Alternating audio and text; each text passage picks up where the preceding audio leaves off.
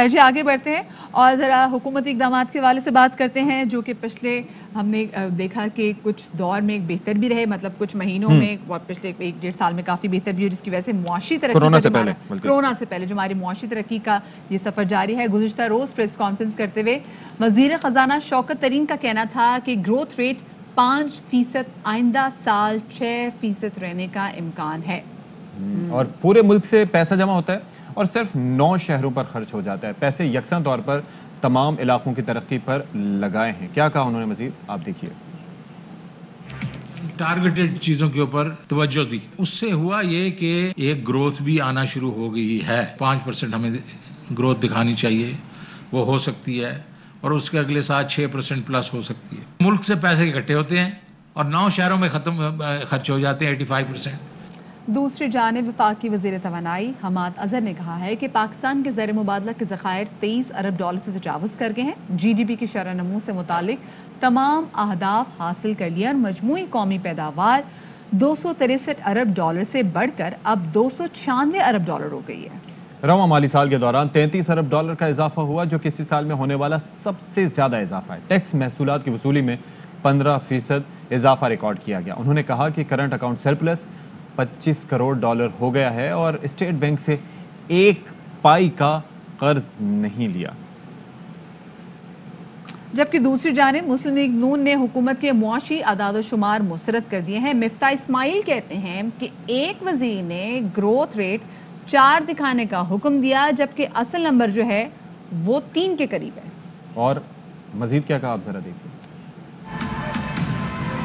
हुकूमत के एक वज़ीर ने ऑर्डर दिया था, मीशत की ग्रोथ है, वो चार फ़ीसद दिखाया जाए, जबकि असल नंबर तीन के करीब करीब है। पंद्रह परसेंट अनएम्प्लॉयमेंट हो गई है, जो पाकिस्तान की तारीख की हाईएस्ट अनएम्प्लॉयमेंट है। करंट अकाउंट डेफिसिट कम होना चाहिए था एक्सपोर्ट बढ़ाकर। एक पैसा एक्सपोर्ट नहीं बढ़ाया है। ये रेमिटेंस बढ़ना इमरान खान की हुकूमत में ऐसा ही है कि मुर्गा अजान दे और अपने आप को क्रेडिट दे कि मेरी वजह से सूरज निकला है। अलबत्ता कम करें, लेकिन वो ऐसा ही है कि मैं अपने बच्चों को स्कूलों से निकाल दूँ और कहूँ, मैंने खर्चा खर्चा बचा लिया है। आज से एक डेढ़ महीना पहले यही हुकूमत हमें ये बता रहे थे कि ग्रोथ रेट एक अशारिया पाँच फ़ीसद से दो फ़ीसद तक होगा। एक महीने में ऐसा क्या तूफ़ान आया आपको ये नहीं एस्टिमेट करना आता कि जी ग्रोथ रेट चार फ़ीसद हो जाएगा। जनाब, ये कह रहे थे कि मीशत जो है वो बेहतरी की जानब गामजन है। और इसी हवाले से कहा जा रहा है कि जो तरक्की का सफ़र जारी है, और शौकत तरीन साहब ने इससे मुतल एक प्रेस कॉन्फ्रेंस भी की थी, और अब ज़ाहिर है कि पहले कोरोना से पहले मीशत बेहतरी की तरफ़ जा रही थी, फिर कोरोना की वजह से कॉन्ट्रैक्ट हुई, लेकिन अब फिर से जो है वो बेहतरी का इम्कान है। तो मुजम्मिल असलम साहब हमारे साथ फाइनली मौजूद हैं, उनसे बात करते हैं। असल मुजम्मिल। वालेकुम आज तो माशाल्लाह बड़ी कलरफुल सी शर्ट पहन के आप बैठे हुए हैं तो इसका मतलब है मीशत जो है वो जो शौकत तरीन साहब कह रहे हैं इंडिकेटर सही है पॉजिटिव सम्प में जा रही है मीशत नहीं मैं तो आप लोग के प्रोग्राम में भी जो है आज से नहीं पूरे आठ महीने से चार से पाँच फ़ीसद का फिगर दे रहा था और फाइनली जो है वो रियलाइज़ हो गया। मुझे तो हैरत हो रही थी ये जो आपने मिफ्ता इस्माइल और मोहम्मद ज़ुबैर की बात सुनाई हम्म। और चले शुक्र है मिफ्ता इस्माइल ने क्या तीन परसेंट आ रही है वरना तो उनका बस चलता तो वो माइनस वो माइनस तीन बोल देते और वो कितनी मतलब मैं ये समझता हूँ कि मिसलीडिंग बात करते हैं कहते हैं करंट अकाउंट सरप्लस पहले तो उनको तकलीफ़ हो रही है कि करंट अकाउंट सरप्लस क्यों आ रहा है मुल्क के ज़र मुबादला के ज़खायर ज़ाया क्यों नहीं हो रहे हम्म। मतलब हम सबको जो है सजदा वो जाना चाहिए कि अल्लाह ताला जो है हमें एक तरफ़ हमें जो है बाहर की मोहताजी से बचा रहा है हमारे ज़र मुबादला के ज़खायर बढ़ रहे हैं और रुपये की कदर में इजाफा हो रहा है।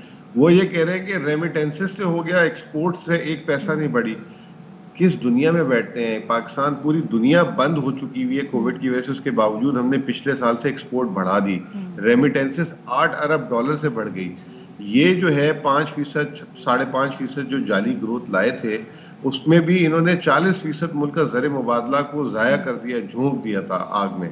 और उसके बाद ये जो है दूसरों को ताने दे रहे हैं ये तो इनको सीखने का मकाम है कि कुछ सीखें कि किस तरीके से मीशत को आगे चलाया जाता है। हम्म। बस मैं तो यही कहूँगा कि आ, हमारे मुल्क में लोगों को एलर्जी है अच्छी खबर सुनने से। और अगर अच्छी खबर आ जाए तो वो ढूंढते हैं कि किसी तरीके से उसको जो है परसेप्शन को डाउन करें और लोगों को मायूस करें। असल मकसद है लोगों को मायूस करना। चले जी लेकिन हम लोगों को मायूस नहीं होने देंगे। लेकिन मुजम्मिल हम यहाँ पे जानना चाहते हैं कि ग्रोथ रेट जो एकदम बड़ा भी है हम्म। इनके पीछे ऐसी कौन सी वजूहत है? क्योंकि हम देख रहे हैं ना कि ऑपोजिशन कह रही है कि ऐसा क्या हो गया भाई कि एक महीने में ग्रोथ रेट जो है वो पाँच को पहुँच गया। पीछे कौन कौन सी वजूहत जो है वो शामिल है ये बताइएगा। देखिए मदिया ये भी इन्होंने झूठ बोला कि तीन फ़ीसद तो स्टेट बैंक ने अपनी लास्ट जो पॉलिसी दी थी मार्च में उसमें लिख के निकाला था कि तीन फ़ीसद पे भी अपसाइड रिस्क है मतलब तीन फ़ीसद से ऊपर जा सकती है। अच्छा। और मिनिस्ट्री ऑफ़ फाइनेंस ने भी लिख के निकाला हुआ है। इनको पता नहीं है क्योंकि ये सियासी रैली और पीडीएम से फारिग हो तो इनको पता हो ना कि मुल्क में क्या हो रहा है। और दूसरी बात ये है कि ये सारा मैं तो ये कहता हूँ कि ऑपोजिशन के लिए बड़ा अच्छा मौका है इसको प्रूव करें। ये क्या चार नहीं तीन? आप देखें एलएसएम लार्ज स्केल मैन्युफैक्चरिंग नौ फ़ीसद हो चुकी हुई है। आपकी थर्ड क्वार्टर की जो स्टॉक एक्सचेंज की जो प्रॉफिटेबिलिटी है 93 परसेंट से ग्रो की है। बिजली जो है पिछले साल से चार अशारिया आठ फ़ीसद इजाफी बनी है। पिछले साल के मुकाबले में 18 फ़ीसद पेट्रोल ज़्यादा बढ़ा है। अच्छा। बिका है। 54 परसेंट कार सेल्स पिछले साल के मुकाबले में ज़्यादा हुई है फ़ीसद जो है सीमेंट्स की सेल्स ज़्यादा हुई है। हम्म। बैंक के डिपॉजिट तेरह फ़ीसद से बढ़ गए हैं। क्रेडिट ऑफ़ टेक यानी कि लोग क्रेडिट लेते हैं तो यानी उधार लेते हैं फॉर देयर एक्सपेंशन वो 42 परसेंट से बढ़ गया है। एक्सपोर्ट्स की 10 फ़ीसद से बढ़ गई हैं। तो ये इनको अगर ये इसको भी आप प्लस कर देना तो मैं तो अभी भी कह रहा हूँ इन्होंने चार फ़ीसद भी हुकूमत वाले बेचारे डर गए हैं कि ये अपोजिशन शोर करेगी और ये करेगी। अच्छा। मैं तो अभी भी समझता हूँ ये फाइनल नंबर आएगा ये पाँच के करीब आना चाहिए।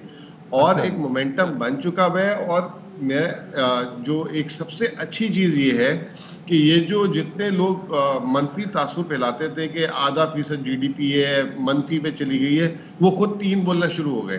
शुक्र है इन्होंने तीन भी बोला है ताकि वो अच्छा जो है मुजम्मिल साहब एक चीज़ बड़ी इंपॉर्टेंट है। आपने कहा कि जो सिचुएशन है उस पर बजाय शिकायत करने के सजदे में गिर जाना चाहिए और अल्लाह का शुक्र अदा करना चाहिए कि मीशत जो है वो बहुत बेहतरी की तरफ़ जा रही है। ऑब्वियसली आप समझ सकते हैं हम समझ सकते हैं और ज़ाहिर है कि हुकूमत की मुआशी टीम समझ रही है। आवाम थोड़े से जो है वो चाहते हैं कि जनाब रिफ्लेक्ट हो कीमतों पर प्राइसिस पे ताकि वो भी आपके कहने के मुताबिक सजदा कर सकें शुक्रगुजार हो सकें। ऐसा कब होगा? देखिए जो जो मीशत का हमेशा से ताल्लुक है ना मीशत का ताल्लुक इस तरीके से है कि जब आपका पहला साल दूसरा साल तीसरा साल जब तरक्की की तरफ़ जाते हैं तो आहिस्ता आहिस्ता जो है एंटरप्रेन्योर से वो वो स्पिल होता है आम आदमी की तरफ़। अभी ये पहला साल था इसमें मैं एडमिट करूँगा ये बात भी कि पहले साल में जिसने पैसा बनाया है उसने सरमाकार ने पैसा बनाया एंटरप्रेन्योर ने बनाया कारखाने वाले ने बनाया। अच्छा जब उनका मजीद पैसा बनता है तो वो कॉन्फिडेंट होते हैं कि अगले सालों में वो सरमाकारी और करते हैं। जब वो मजीद सरमाकारी करते हैं तो उनको लोग चाहिए होते हैं कि नौकरी के लिए। और उस पे जो है वो स्टेज में जो है पहले स्टेज में आपका अच्छा वो तो मुजम्मिल जो भी आप अब सारे मासे परसेंटेज वाइज जो शेयर कर रहे हैं और स्पेसिफिकली जो आपने बोला ग्रोथ रेट की अगर सही तरह से देखेंगे तो पाँच भी आएगी आपके मुँह में घी शक्कर। लेकिन जो आवाम है ना वो कह रही है भी ट्रिकल डाउन इफ़ेक्ट आना चाहिए। महँगाई हम कब कम होते हुए देखेंगे? क्योंकि आवाम तो हलकान होगी महँगाई की वजह से। नहीं देखें बिल्कुल अ, मैं आपसे इस चीज़ से एडमिट करता हूँ कि दो राय नहीं है कि महँगाई बहुत ज़्यादा हो गई है। और अभी हुकूमत को भी हम यही बार बार कह रहे हैं कि अब तो पहले पाकिस्तान सेंट्रिक महँगाई थी अब इंटरनेशनली महँगाई शुरू हो चुकी है। तो आप इसको कंट्रोल करें। एक ही तरीका है देखें मैं हमेशा से एक अब मैं I am a very positive person मैं कहता हूँ कि और मेरे हिसाब से महँगाई प्राइसेस नीचे नहीं आ सकती।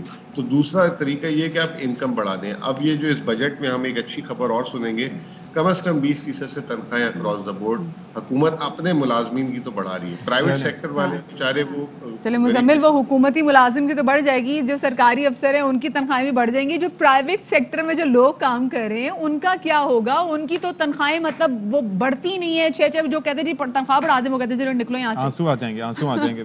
मदिया की भी नहीं बड़ी बहुत कह रहा हूँ कि जो जुल्म होता है वो प्राइवेट सेक्टर वालों के साथ होता है। इस साल देखें एग्रीकल्चर क्रॉप अच्छी आई है जो लोग सेल्फ एम्प्लॉयड थे।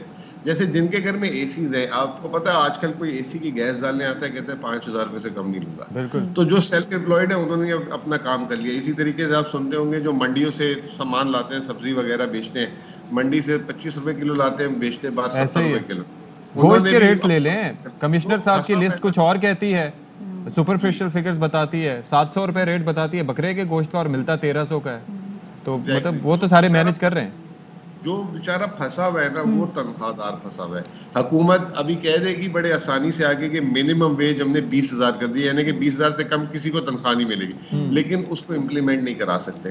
तो ये एक अ, बिल्कुल जिसे कहते हैं कि गैप है और हमेशा से गैप है।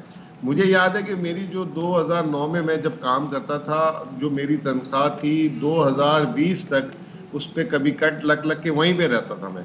और हर साल हम सरकारी तनख्वाहें देखते थे और वो दस दस परसेंट बीस बीस परसेंट बढ़ती थी। तो ये खुश नसीब है सरकारी मुलाजमीन एक। अल्लाह करे सरकारी मुलाजमी की तरह बाकी लोग भी खुश नसीब हो क्योंकि यहाँ पर तो अभी सिचुएशन ये है कि जो अमीर है बहुत सारी जगहों पे वो अमीर से अमीर हो गए।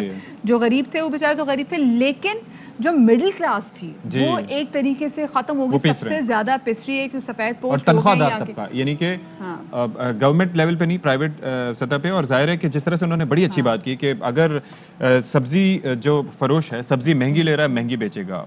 गोश्त महँगा आ रहा है महँगा बेचेगा। दूध महँगा आ रहा है महँगा बेचेगा।